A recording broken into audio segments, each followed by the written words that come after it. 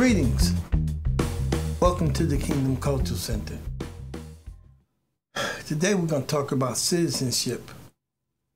By the way, that's a very important subject to talk about. I want you to turn to uh, Philippians, the third chapter, and the 17th to the 20th verse. I'm going to read. Join with others in following my example. Brothers, and take note of those who live according to the pattern we gave you. This is Paul speaking, by the way. I want you to understand that. For as I have often told you before, and now say again, even with tears, many live as enemies of the cross of Christ. Their destiny is destruction. Their God is their stomach, and their glory is in their shame. Their minds is on earthly things, but our citizenship is in heaven. And we eagerly await a Savior from there, the Lord Jesus Christ. Now, I want to express something to you. Paul's giving an example, and he gave example. He lived such a life that he could say that. And like perfection in, in a sport, I thrive for that. I, I thrive for perfection. I, I strive to be that example, one of many examples in the kingdom of God while I'm here on this earth. That many can look at me and say, I want to be to the level that he is or better. Because the kingdom, as ambassadors, we are to be focused on his message. When Jesus was down here, I want you to understand something. He was the most perfect example, but they didn't get it. They didn't get it. He was kingdom working on earth, healing the sick, raising the dead, blind eyes are open, deaf are hearing, the dumb speaking. That's what it is to be in the kingdom. That's what it's like. You don't have to sweat the small stuff. Trust in Him. The problem is that we have failed. Our faith is so, so high, you know, and the Lord wants it this point. He wants it high where we totally trust in Him, believe in Him. You know, there's, going to come times when the world, you know, don't live according to the standards of this world. Paul gave a good example. He said, hey, follow me. Be my, look at my example. Each of you who are listening to this should be saying, hey, man, all year round, look at my example.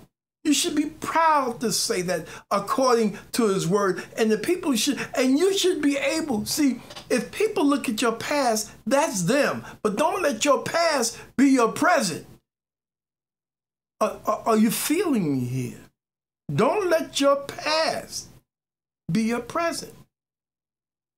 See, the king forgave you. People want to look in your past, that's fine. But don't let that be your present, how you're conducting yourself now. Don't let that be.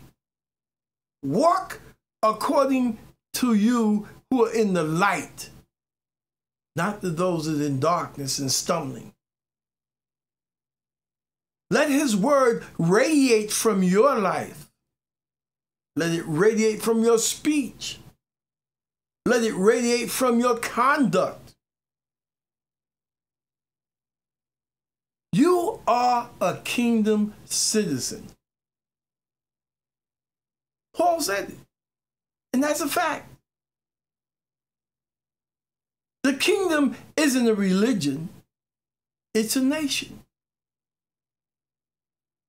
So, having said that, you have to be a citizen in the nation. You have to go through the process. you know, there's so much said about today about illegals. But you can't come that way in the kingdom. Because if you're an illegal, you get no benefits. Not in the kingdom. If you don't have his spirit, you're just another religious person going through the rituals of, of, of a religious organization. And you have membership. But in the kingdom, you're a citizen and you have citizenship. So you can call on the Lord God at any due, at any point in time. Yes. Man, let me tell you something. When you are calling on the Lord and you're living the right life and you have the Holy Spirit in your life, and the key thing is the governor, the Holy Spirit in your life. I get pain in my body. I got pain in my body now as I sit here. But it doesn't affect me from speaking. It doesn't affect me from writing. Because I know I'd rather have him in my life and him take care of me than be have to depend on anyone else. Your faith should outshine your fear by far. You should have no fear. And you have to get into that place in time where you don't. You it. The more you stay in his word, I, I, want to, I want you to get this. The more you stay in his word, the stronger you will get in your faith. The more you meditate on his word, the stronger you get in your faith in him. And remember, I always said faith has to have an object. So, what object do you have your faith in? Mine is in Jesus. Mine is in Jesus. He's King of Kings and He's Lord of Lords. He's the beginning and the end. He's Alpha and Omega. You got to walk this walk. Not only talk it, but you got to live it. And when you get the Holy Spirit in your life, you don't fear anything. You don't fear. I mean, you, you, you don't fear. You have to grow to know Him, to please Him, Study His Word. Let the Holy Spirit guide you. You want to know the mind of God? Let the Holy Spirit guide you. Stay in His Word. I can't emphasize that enough. Stay in the Lord God's Word. Don't get caught up with outside details of something else. If you're an ambassador, if you're claiming to be an ambassador, don't get caught up with the things in this world. Stay with his word and stand on it. Don't back down from nothing.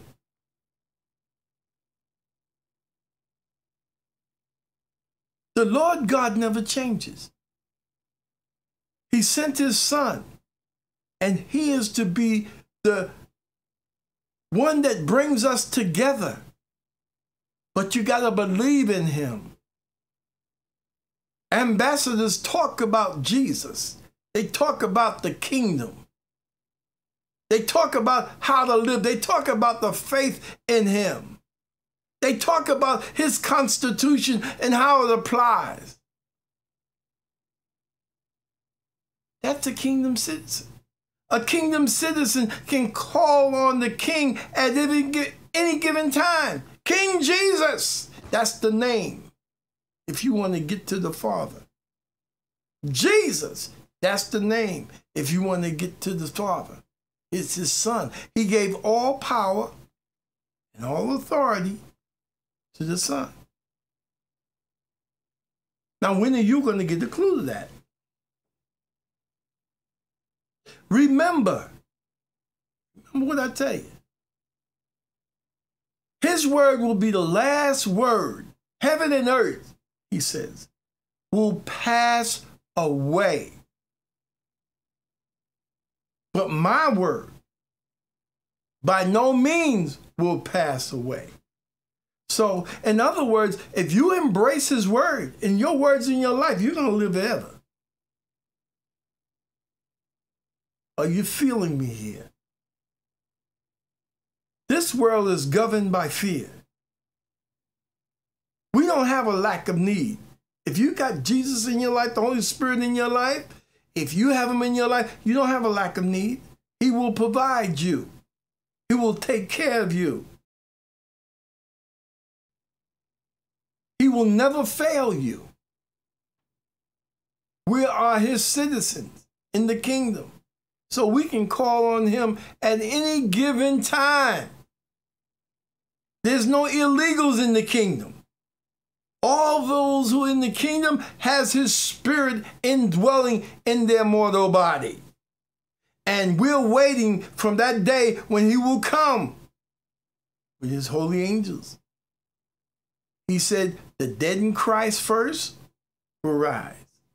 Then those who are left down here will be taken. So you have to have, I want you to be encouraged. Citizens, you know, you know, if you go into another country and you're a citizen of another country and, and, and something happened, your government's supposed to come to your aid. Supposed to come to your aid. My king comes to my aid. He has angels to take care of that and watch over me. Trust me. And my wife usually says that I keep him busy. I don't know. Maybe one day I'll ask him when I get there. I, I keep him busy. But I, I trust in him. I believe in him. He said he will never fail me under any circumstance. He'll never fail me.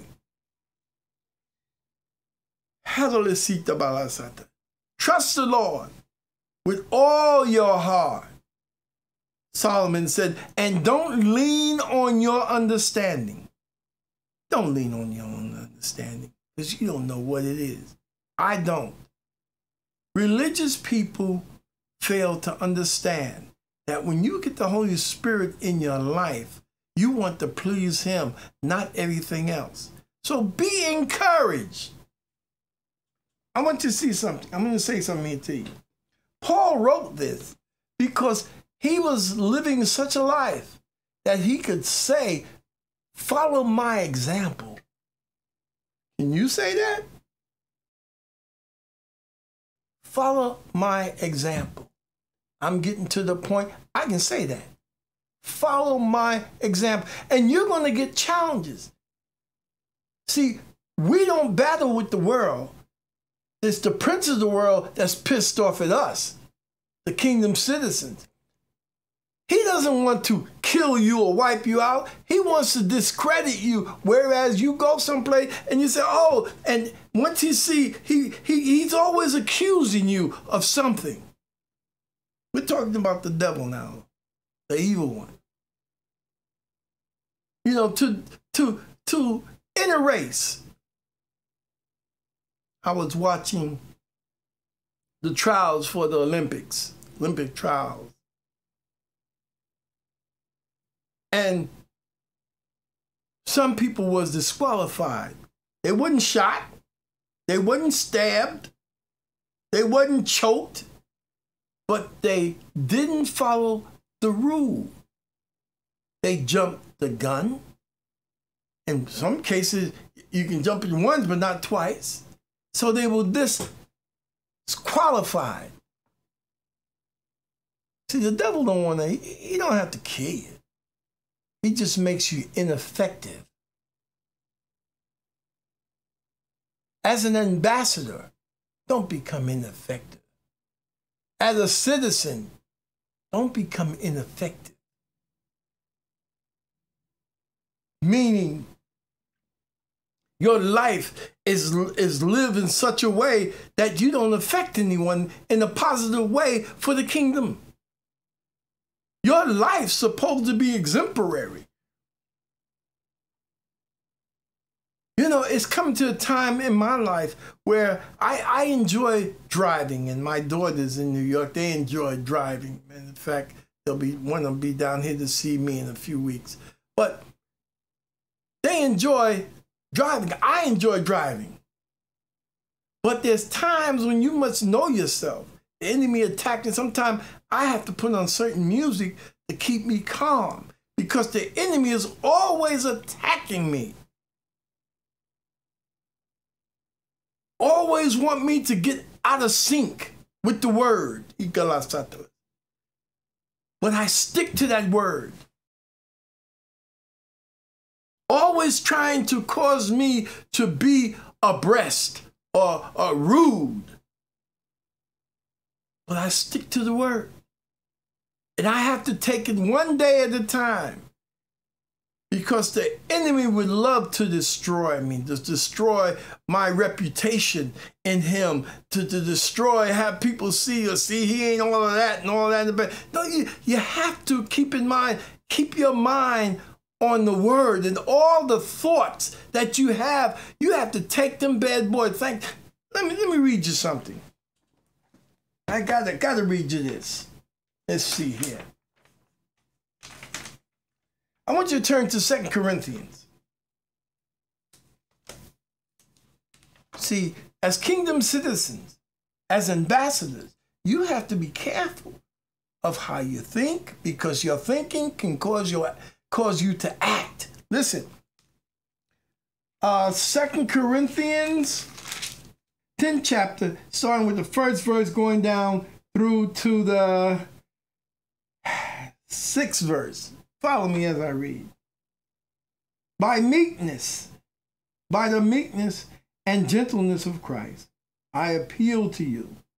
I, Paul, who am timid when face to face with you, but bold when always, bold when away. I beg you that when I come, I may not have to be as bold as I expect to be towards some people who think that we live by the standards of this world. That's one thing you got to keep in mind. Never live by the standards. I don't live by the standards of this world. I have to be an example. I have to be example to my son, I have to be example to my wife. My name represents something. I have to be example to my daughters. I have to be example to those around me. Yeah, some people are gonna really get you, get your, get your, your, your, your, your, your, your, your, your blood boiling. But you got to be cool. You got to chill out. And you can only do that through the word. Listen, he goes on. The weapons we fight are not the weapons of the world, or on the on the contrary, they have divine power to, to demolish strongholds. Keep in mind, we have that. The weapon is the word of God. Listen, We demolish arguments and every pretension that sets itself up against the knowledge of God. And we take captive every thought to make it obedient to Christ. Are you feeling me here? He says, take captive. Are you let me break it down what he's saying. Thoughts that come into your mind rebuke them, take hold of them in the word of God. Don't spit it out your mouth. A lot of times people react to things and comes out the hole under their nose instead of responding. And responding to something takes time. React, spews come right out. You have to take that thought in your mind and say, oh, no, I'm not going to say that. Oh, oh, I'm not going to do that. Because that will cause, you know, it doesn't take for you to build a, a, a, a, a deck of cards. It only takes one little click and the whole house, the whole thing of deck come down. You have to know who you are in God and cherish that, value that. And when you do that, you'll be much more reluctant to say what you think and stay in that word. Take that thought and hold it and say, oh, oh, oh, oh, oh. No, no, no. I ain't saying that. But a lot of times the devil may trick us. And see, if you don't believe in the devil, if you believe in God, you gotta believe in the evil one, the devil, because that's where the devil came from. Oh, this gonna really get you. Yeah, the devil came from heaven. He was kicked out. His butt was kicked out because he got a radical idea that he can overthrow heaven. Boy, was that stupid. You know, I always say one thing. My wife and I was talking, she remembered me when I first met her. I says, ignorance is one thing. You can learn from ignorance. But stupid, you can't help it. You can't help stupid. Somebody who's stupid, you can't help them. You can't, you know, nothing can help stupid. And talking about stupid, that was stupid. The devil thought he can over the, he thought he can overcome his creator. We got to learn to stand on God's word. Yeah, I'm telling you, brother. You got to stand on his word. Don't quiver. Don't shake. Stand on his word. Speak his word. Keep absorbing that word. It'll give you courage. Sister, it'll give you courage. Both of you, it'll give you courage to speak his word and to walk upright and to stand. Even when things you're used to doing, you have to change. The word will change you. Thank you, Jesus. Once again, come to the climax of this session. But I want to tell you again, I'm going to keep saying it. Your faith in the kingdom, in the word of God, in Jesus, is your greatest asset in the kingdom. Until next time, brother, sister, you have a nice day.